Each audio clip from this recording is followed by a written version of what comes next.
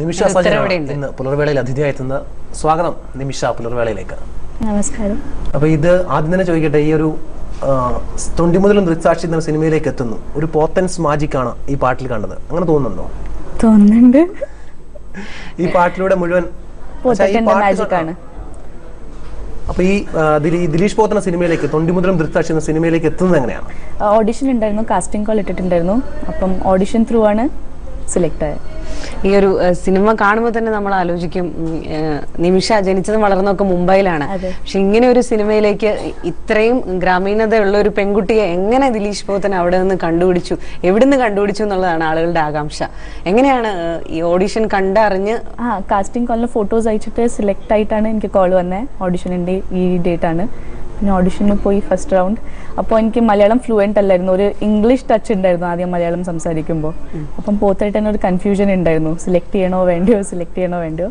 But look wise I was okay പിന്നെ second റൗണ്ടിന് വിളിച്ചു ലുക്ക് ടെസ്റ്റ് നടന്നു. പിന്നെ തേർഡ് റൗണ്ട് ആയപ്പോഴത്തേന് ഫൈനലാക്കി മലയാളം പഠിച്ചു. പഠിച്ചു.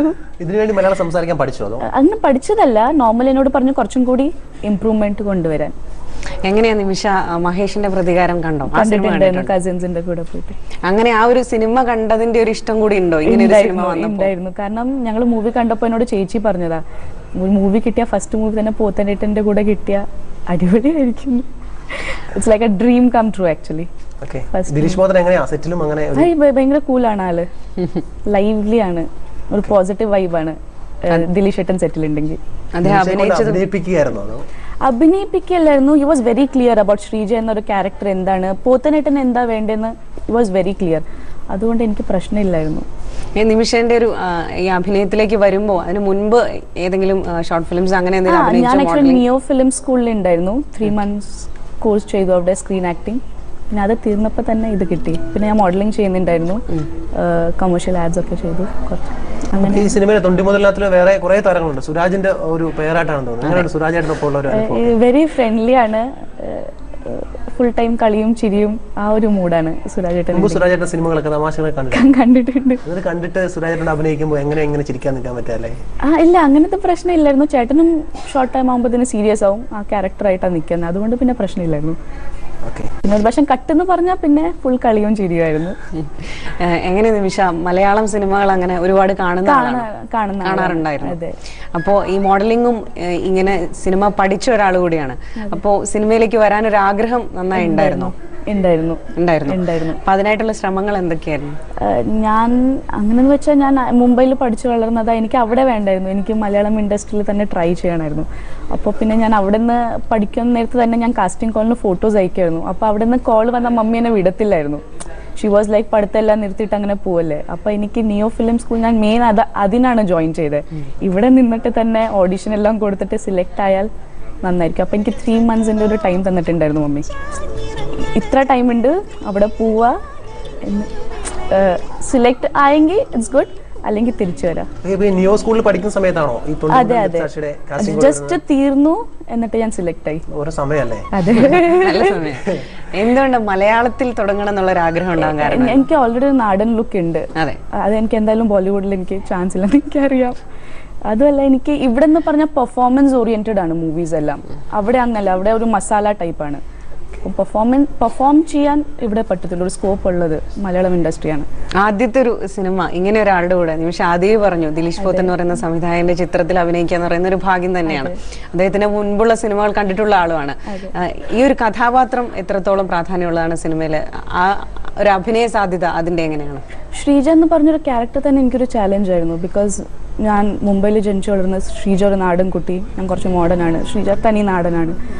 അപ്പോൾ ശ്രീജ കുറച്ചും കൂടി മെച്ചേർഡ് ആണ്. ഞാൻ- എനിക്ക് അത്ര മെച്ചൂരിറ്റി ഇല്ല.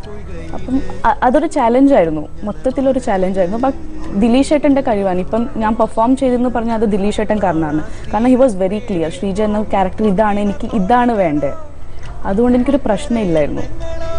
ഈ ഒരു മലയാളത്തിലെ ഏറ്റവും പ്രിയപ്പെട്ട താരങ്ങളാണ് ഫഹദ് ഫാസിൽ. ഫഹദിനൊപ്പമാണ് അല്ലേ ആദ്യത്തെ സിനിമ കൂടി പറയേണ്ടിരിക്കുന്നത് എന്തായിരുന്നു ആ ഒരു അനുഭവം?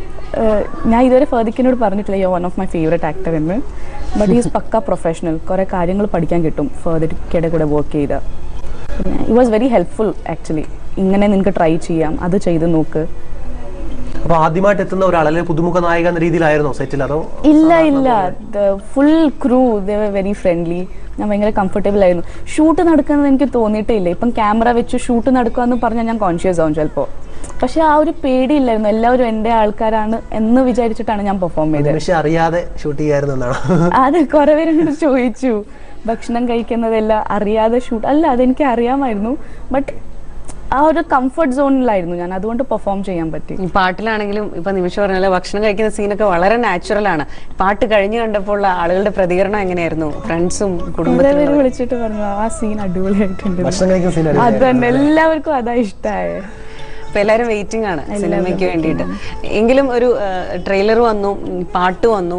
ആ പാട്ട് ഇത്ര ദിവസത്തിനുള്ളിൽ തന്നെ ഹിറ്റായി. അപ്പോൾ എല്ലാവരും വളരെ പ്രതീക്ഷയിലാണ്. എന്താണ് ഒരു അഭിനയത്തെ കുറിച്ച് നിമിഷയുടെ മുഴുവനായി പറഞ്ഞത് ആദ്യമായിട്ടായിരിക്കില്ല അവർ ഇങ്ങനെ ഒരു വലിയ ഫ്രെയിം നിമിഷയെ കാണുന്നത്. എല്ലാവർക്കും നല്ലൊരു റെസ്പോൺസ് ആണ്. വീട്ടുകാർക്ക് അങ്ങനത്തെ ഒരു ഇതില്ല. ലൈക്ക് നിന്നെ കുഞ്ഞുനാളെ തൊട്ട് ഞങ്ങൾ കാണുമല്ലേ ഇങ്ങനെ ഒരു ഫ്രെയിമിൽ കണ്ടിട്ടില്ലല്ലോ. ഇങ്ങനെ ഒരു ഫ്രെയിമിൽ കണ്ടിട്ടില്ല. ദേ ആർ വെരി ഹാപ്പി എന്നോട് ചിലപ്പം പറയ പറയുന്നില്ല അങ്ങനെ എടുത്തിട്ട്. പക്ഷെ ദേ ആർ വെരി ഹാപ്പി ആണ് വേർ പക്ഷെ ഒരു കാര്യമുണ്ട്. ഈ പാട്ട് ഇങ്ങനെ പ്രേക്ഷകർക്ക് ഒരുപാട് ഇഷ്ടമായി. വളരെ ഹിറ്റ് ആയിക്കൊണ്ടിരിക്കുകയാണ് ഈ പാട്ട് കണ്ടിട്ടല്ല ഈ സിനിമയുടെ സിനിമ റിലീസ് ആകുന്ന മുമ്പ് തന്നെ നിമിഷയ്ക്ക് മറ്റു അവസരങ്ങൾ ലഭിച്ചു തുടങ്ങിയെന്നാണ് അറിയുന്നത്. അതെ. എന്താ പുതിയ പ്രോജക്ട്സ്? ഈഡ ഈട മൂവി അജിത് ഏട്ടൻ അജിത് കുമാർ. അത് ഷൂട്ട് തീർന്നു ഒരു വൺ ഡേ പാച്ച് വർക്കേ ഉള്ളൂ. ഒരു സിനിമയും കൂടെ കംപ്ലീറ്റ് ചെയ്തിട്ടാണ് മലയാളത്തിൽ മറ്റു ഓഫറുകളൊക്കെ ആ മലയാളത്തിന് ഓക്കെ അല്ല മറ്റു ഓഫറുകൾ വന്നിട്ടുണ്ട് പക്ഷെ ഇതുവരെ ഫൈനൽ ആക്കിയിട്ടില്ല. ഓക്കെ. അപ്പൊ എന്തായാലും ഞങ്ങളും കാത്തിരിക്കുകയാണല്ലേ? ദിലീഷ് പോത്തിന്റെ സിനിമ ആയതുകൊണ്ട് തന്നെ ഒരു പ്രത്യേക കാത്തിരിപ്പുണ്ട്. കാരണം മഹേഷിന്റെ പ്രതികാരം കേരളത്തിലുണ്ടാക്കിയ ഒരു തരംഗം. അതുകൊണ്ട് തൊണ്ടിമുതലും ദിക്സാക്ഷി രണ്ടാമത്തെ സിനിമയ്ക്ക് വേണ്ടിയും കാത്തിരിക്കുകയാണ് ദിലീഷ് പോത്തന സിനിമയ്ക്ക് വേണ്ടിയിട്ട്. എന്തായാലും നിമിഷയ്ക്ക് എല്ലാവിധ ആശംസകളും നേരുകയാണ്. ഈ സിനിമയ്ക്ക് ഈ സിനിമ ഒരു വലിയ വിജയമാകട്ടെ. മറ്റ് കംപ്ലീറ്റ് ചെയ്തിരിക്കുന്ന മറ്റൊരു സിനിമ. അപ്പോൾ ഇനി കിട്ടുന്ന അവസരങ്ങൾ എല്ലാത്തിനും എല്ലാവിധ ആശംസകളും അറിയിക്കുന്നു. വളരെ നന്ദി. പുലർവേളയിൽ അതിഥിയായി. Thank you so much thank you